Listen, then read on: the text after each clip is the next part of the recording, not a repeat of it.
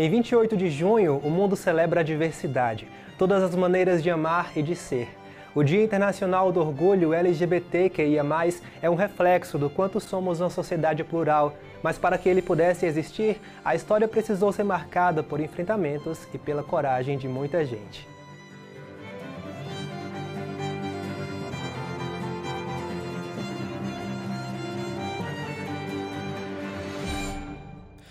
Já se passaram 52 anos desde que a comunidade LGBTQIA+, vivenciou um dos seus principais marcos na luta pelo respeito e pela igualdade.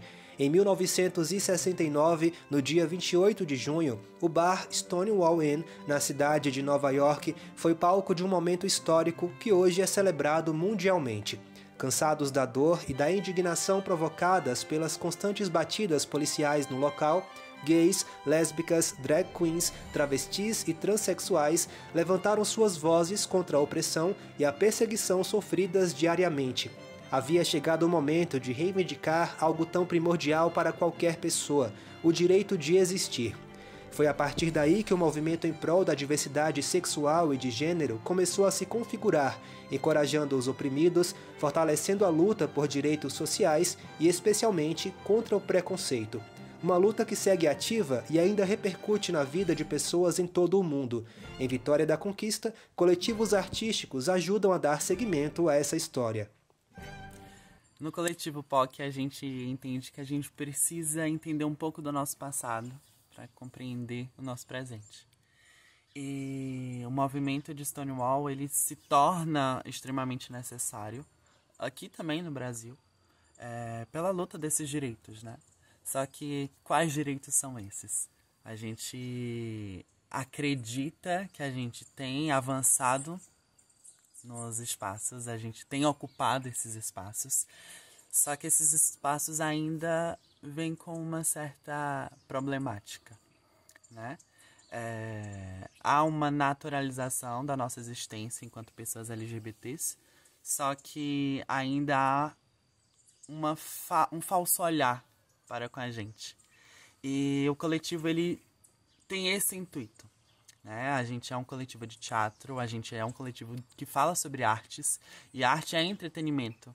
E a gente tem essa nova vertente do entretenimento para pessoas LGBTs. Nós estamos levemente cansados de ser retratados aí dentro desse, dessa mídia de uma forma pejorativa, digamos assim. Então o coletivo ele se inspira no, no movimento lá do dia 28 é, em São Francisco e traz à tona hoje a importância de, de sermos, né? De mostrar nossos afetos, nós mostrarmos nossos amores, nós mostrar as pessoas que nós somos, que nós conseguimos ser, que construímos e etc e em celebração ao aniversário de um ano da revolta de Stonewall, em 1970 nasceu o que hoje é conhecida como a Parada do Orgulho, uma comemoração que acontece anualmente em diversos países ao redor do planeta, a maior delas no Brasil, na cidade de São Paulo. Sair às ruas, celebrando o orgulho de ser quem se é, é um movimento de coragem, muito mais que uma festa, a Parada do Orgulho se tornou um ato político de resistência que tanto tem contribuído para a discussão de pautas sociais e a obtenção de direitos que ainda hoje são questionados e constantemente negados. Acho que o ponto mais importante né, nessa contínua luta que nós temos dentro da comunidade em relação aos nossos direitos que precisamos adquirir e a manutenção também dos direitos que já conquistamos é sobre a equidade.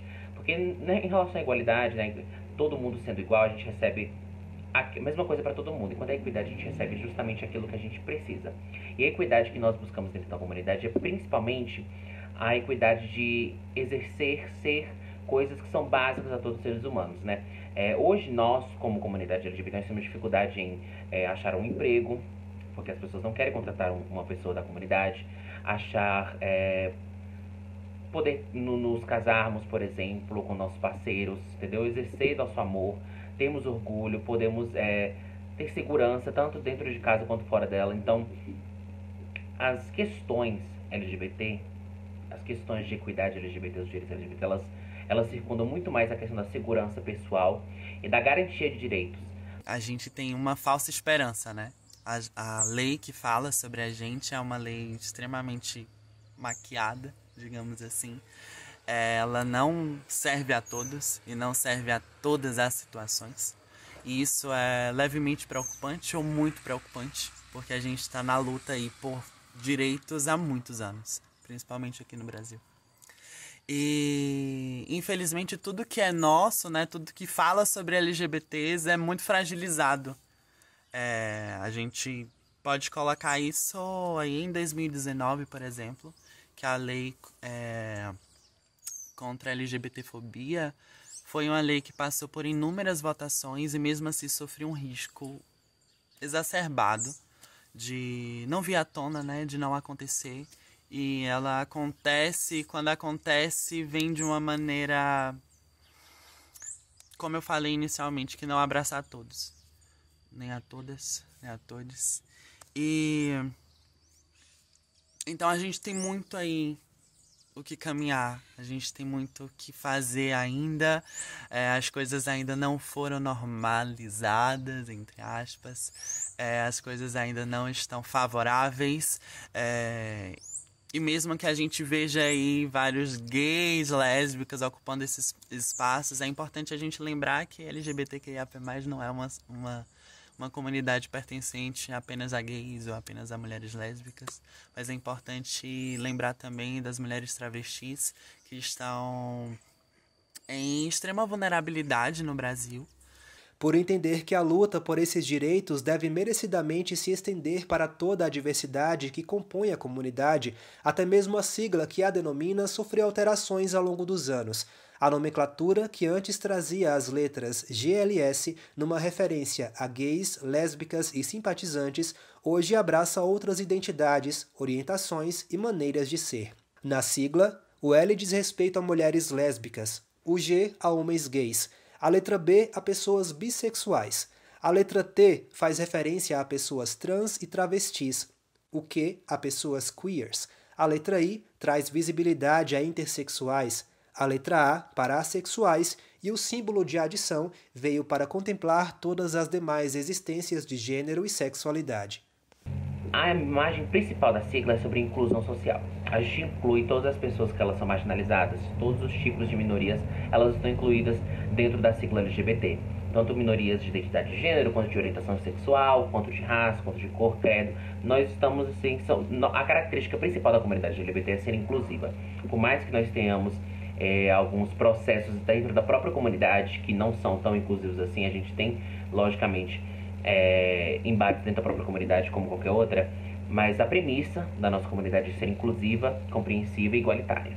Nós da comunidade, a gente vai colocando mais gente dentro, dentro dessa, desse caldeirão. E a gente entende a, a importância da união dessas pessoas. É, primeiro pela força, né? Quanto mais barulho a gente faz, maior é a força, mas também pela, pela compreensão desses grupos de vulnerabilidade. É, é importante eles serem abraçados. Eu acho que esse é o papel da população LGBT e, e da bandeira que a gente carrega, né? Abraçar uns, uns aos outros. Porque, querendo ou não, a gente acaba estando no mesmo barco, claro, com privilégios bem distintos. É, mas é importante a gente ter essa, essa mentalidade do, do afeto, né? De estar próximo, de, de apoiar e de vamos à luta juntos. É, então eu acredito que essa é a forma do impacto. Quanto mais gente, mais barulho, né? E quanto mais barulho, mais mudanças. As paradas do orgulho LGBTQIA+, em todo o mundo, refletem a importância da união para uma comunidade que ainda hoje é perseguida. Em 2019, 3 milhões de pessoas ocuparam uma das principais avenidas de São Paulo em celebração à data marco do movimento. Devido à pandemia do novo coronavírus, há dois anos a Parada de São Paulo, considerada a maior do mundo, é realizada de forma virtual, atingindo cerca de 11 milhões de espectadores. Uma festa ainda mais inclusiva para todos aqueles que existem e resistem. Eu fico muito feliz pela existência, eu fico muito feliz pela, pelos nossos, pela nossa comunidade, ela ela ter feito tanto pela gente. E eu espero que a gente possa cada vez mais estar fazendo, sabe? É, é sempre importante dizer para vocês que a luta ela não tá, não, não se findou. Há muita coisa ainda para ser conquistada, há muitas outras pessoas para serem alcançadas e elas precisam ser alcançadas, elas precisam ser abraçadas. Vamos olhar para os demais também, vamos abraçar essas outras pessoas. E eu acho que esse é o principal fundamento do orgulho. Sabe? É importante a gente lembrar da Marsha Johnson, é importante a gente, importante a gente lembrar do Milk, é importante a gente lembrar da Rogéria, é importante a gente lembrar de tantos outros, tantos outros que passaram pela nossa história e fazem com que a nossa história seja real. Não se esconda, seja superior, independente de pobre ou rica, negra, branca, hispânica, libanesa, oriental, mesmo que as dificuldades da vida te façam te sentir deslocada provocada ou importunada, se exalte e ame a si mesmo.